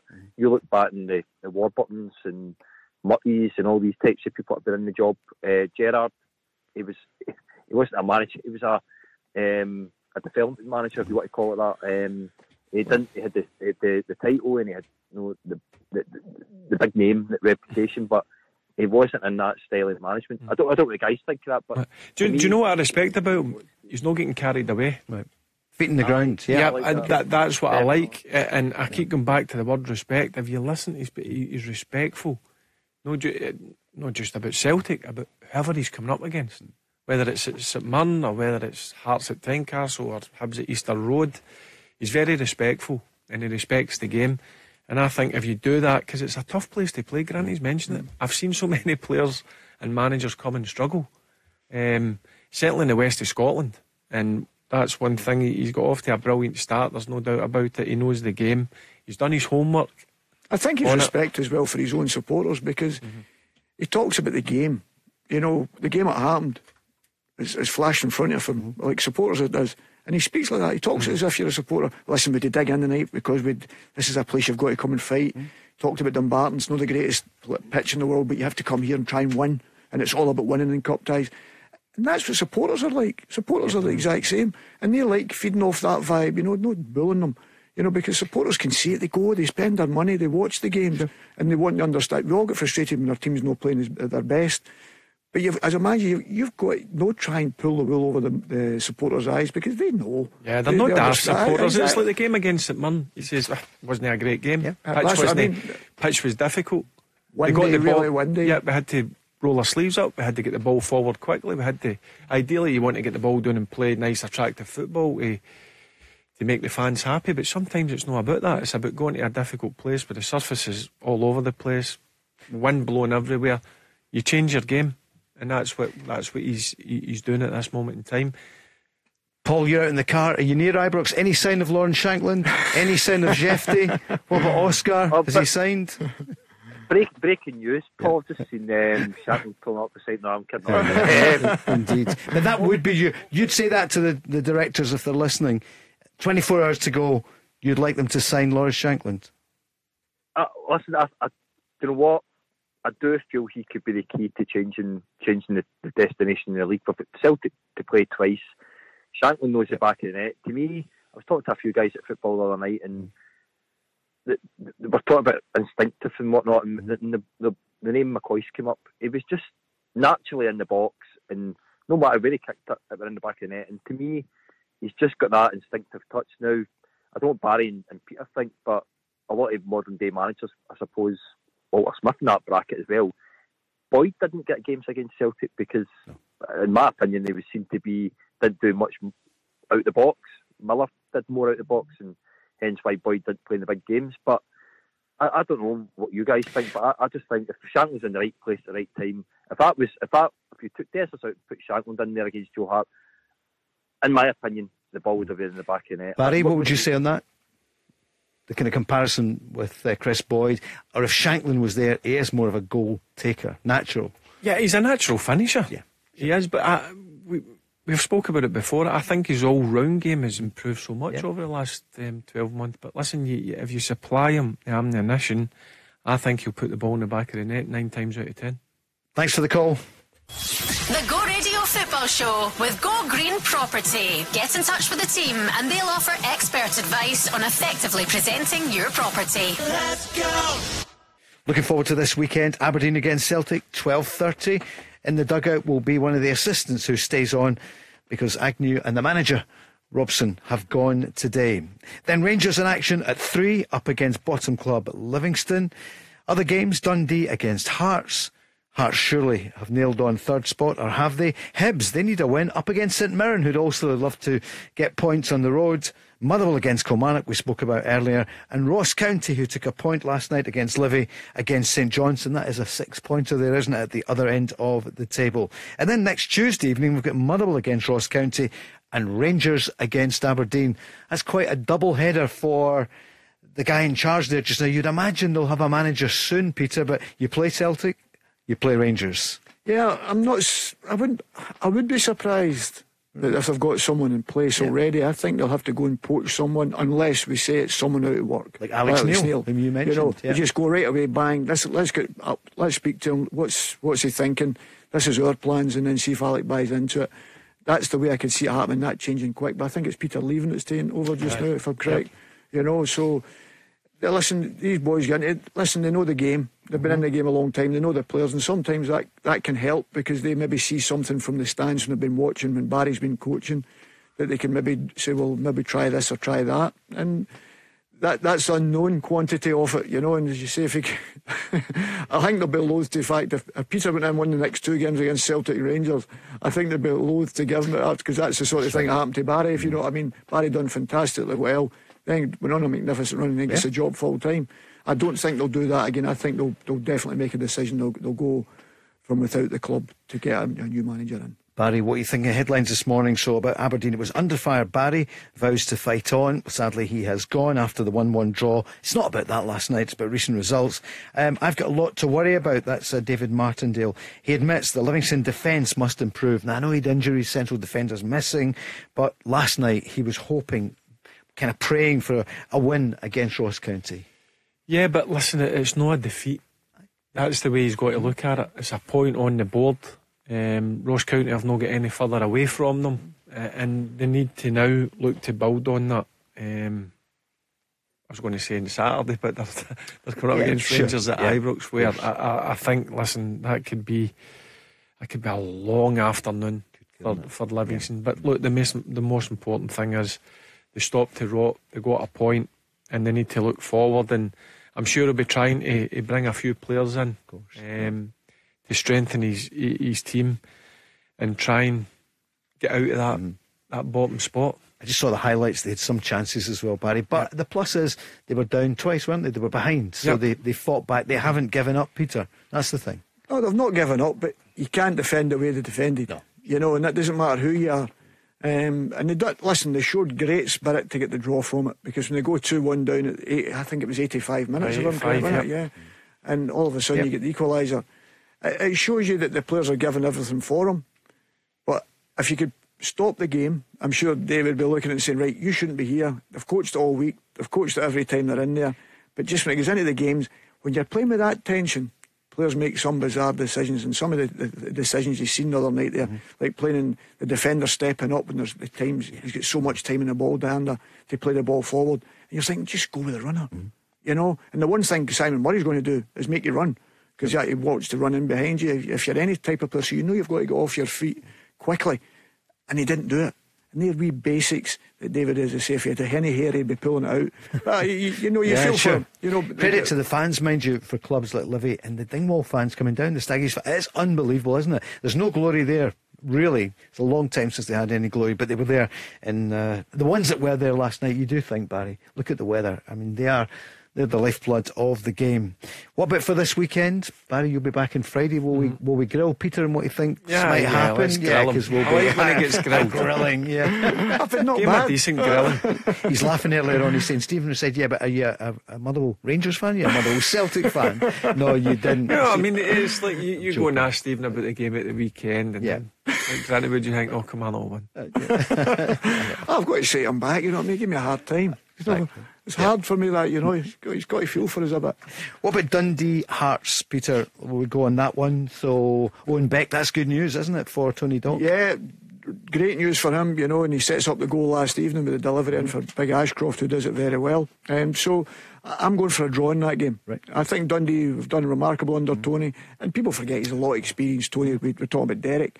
He's a lot of experience. He had a lot of experience with SFA as well. So the players he's brought in have all improved the side. So I'm going for 1 1 in that game. They have been the surprise package.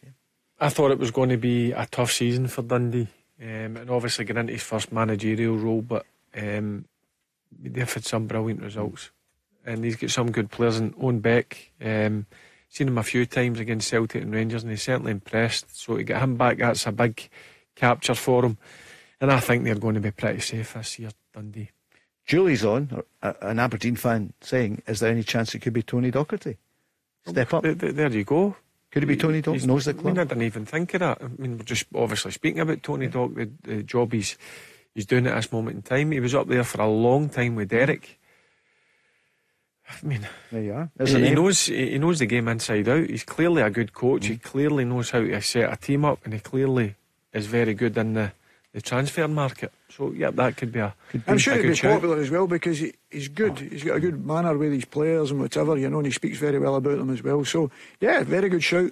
Um, he's done it as a remarkable job there as well. So it'll be interesting if they go with, out, as I say, somebody with no connection to them. I think that could be the only thing. So that's Dundee Hearts. You reckon a draw? We'll Yeah. do it with Barry on Friday. Also, where will Lawrence Shankland be by then? Will he be in the maroon? Will he I've be in seen the Hearts blue? offered them a, another new improved Yeah. Contract offer than the one they offered them last That's week. right. He's got until tonight. So li- listen, they're obviously keen to get him, get him tied down. Um, so it'll be an interesting 24 hours for Hearts. Which game do you want to throw at Peter now? Um, I'm going to go with the. Let's go with the Ross County and St Johnstone game. Okay. Peter. Ross County, St Johnstone. Ross County's performance last week, I'm going for a 2 1 victory for Ross County. Wow. And that would be, they are on 19 points, so they'd go on 22. Um, so St Johnstone on 21 points. What about Motherwell Kelly? You said earlier on 2 1, you reckon? Uh, yeah. two, two, one Okay. Kelly. Yeah. I'm only listening to Stephen. You know, he's talking about that. And Derek has always been one that's worked very, very well on his set plays. Big, powerful strikers, three big centre backs, you know, and very good delivery. And so, so if you say, I think that's what it could come down to because there could be nip and tuck between the players. There's a good sort of balance between the two teams. I just think set plays could become massive on. And I think the quality that Kilmarnock have in that department could maybe win them the game 2 1. Yeah, in the table, Hearts, as we know, on 42 points are third. Killy, 10 points behind on 32. St Mirren on 29. Dundee, back in the top six on 26. Better goal difference than Hibs on 26. Aberdeen 24. Then Motherwell and St Johnstone 21. Ross County 19. Livy on 13. Shall we go to Easter Road then? What do you think? Hibs against St Mirren? It's a good game, maybe. Yeah, I just I just think Hibs will nick it. I think Hibs will go two one Hibs. I just think that they've got that little bit of quality. They, they fought back really well against Kilmarnock and, that, and showed a little bit of spirit for the opposite. They were 2 0 up the last time and then they were 2 0 down this time. So I just think, and I see what Nick Montgomery's trying to do. Mm-hmm. I think trying to put it in place as quickly has been quite difficult with the personnel and then losing Boyle obviously away as Yeah. well. So I, I'm going to go for Hibs, but I'm going to go for Hibs to win this one 2 1. I, I know they're missing a few key players, but I was really disappointed in them last midweek against Rangers. I was the same against Celtic. I must admit, And- Baz as well. Yeah, I, I know Rangers were really good on the night, scored some good goals, but I expect, I mean, when you go to Easter Road, you think to yourself, "Whew, this is going to be a mm. toughie. Sleeves rolled up. You need to get fired in about it. But watching Hibs, I think they're too wide open. Uh, I know that is Martin Boyle's a big miss for them, um, but again, they, they're a club with a big budget. Hibs should be doing better, probably. Peter, what about Rangers against Livy then? Well, I've went Rangers four, Livingston nil. I just yeah. think Rangers have too much quality for them. Um, it'll be a difficult one for Livy. They'll try and make it difficult for you, which Dave's team has always been. Mm. But as you say, because they're open at the back, they've always sort of built on their strength defensively. And that's not been the case for them. And I can't see that change with over the next few days. And I'm just going Rangers 4, Livingston nil. Mm, surprised with that, Barry? It's good, it was a good summary. but pretend I'm yeah, fair. Yeah, listen, yeah. I, as I said, yeah. Paul, I think it's going to be a long afternoon yeah, sure. for Livingston. And they've probably got to keep any strength for future battles mm. that they've got to think we've got to take points in this one. And they took a point last night. And Peter, the twelve thirty. The biggest strength, our yeah. manager. Yeah, of course he is. He's, he's our biggest yeah. strength. He you said know, he won't walk away though. No, that's no. what I'm saying. He's our biggest yeah. strength. And listen, you don't walk away from your battles. You've got to stand up, mm. take it on the, the chin as many times you're going to get hit. You've got to take it, and he's done that remarkably well. Aberdeen Celtic, 12.30 kick-off. It's going to be some game. What do you think, Peter? Celtic 2, Aberdeen nil. 2 0, you reckon? Yeah. Okay. I just I just think Celtic have got that quality, as I say. I know it's not been shown all the time this season. I just think they've got players that are match winners. And as long as you've got match winners on your side, you know, you've all, you'll always win games of football. And that's why I think Celtic have got that little bit of quality. Aberdeen will fight and scratch and bite. I just think Celtic have too much quality. Can I ask both of you, Barry, Rangers, the next 24, 27 hours, whatever, how many are coming in? Who Who's coming in? I'm not I, I think there'll be a couple yeah. of permanent signings, yeah. yeah. Left back could well be. Yeah. Yeah, again, that's depending on Barisic and, yeah. and Ridvan. Mm. Um, I know there's a lot of interest from Turkey with, with Ridvan and Barisic also. Croatian international mm-hmm. getting into the final six months of his contract. Rangers might look to get a, a couple of pound in um, for him. So, yeah, I think a left back, if either one of them leave, um, and then another wide player, mm. maybe. Probably Oscar. Yeah. Yep. Yep. And a striker as well. Yep. I was going you to reckon? say that. Okay. Yep. Can you name names? No. I don't. I don't think he knows yet. So no, I, sure. I, think that is an area because you, you've you've got Sima going about for a couple of months. Danilo's yeah. still a mm. couple of months away, and Kemar Roofe. I don't know exactly the time frame on Kemar Roofe, so I think a number nine if you'd want to go and attack the next three trophies that they're still in the league, Scottish Cup, and Europa League, I think you've got to go with three for sure centre forwards at least. Well, a former Rangers, Hearts, and uh, Liverpool star Danny Wilson's on his way back to Scotland. He's going to Queens Park, so that is something that's definitely happened during the programme. Peter, what a time for Celtic! Can they win the title again? Who are they going to get in the next 24, 27 hours? It's going to be interesting watching it, Paul. You know, yep. as I say, sometimes it swings and you're talking about players going out and then all of a sudden somebody picks up an injury. Everybody wants to bring in these players. I've said it for weeks now. When the window opened, I would only bring players in that's going to make us better. I think that's so important, but not just even for the supporters in the respect of that. Players on a training uh, pitch notice right away, Paul. See, if you don't bring in quality, they look at it as if to say, oh, well, what did we bring him in for? And Barry will tell you, players are unforgiving in that respect. So I think Brendan will be sitting there saying, well, if the ones are not there that we felt was an opportunity, and I told you, I think the domino effect's not happened because of what's happening down south. Yep. You know, but it's going to happen, you reckon, the next day? If it yeah? happens, okay. then all of a sudden he's out, he's in, we can move that, and that's the way they shuffle it. That's the only way it will happen, I believe. Thanks so much, guys. Cheers, Paul. Thanks Pleasure. to everyone. Thanks, Stephen Reside, earlier on. We're back tomorrow night at 5. The Go Radio Football Show with Go Green Property, offering expert advice on preparing your home for the market. Let's go!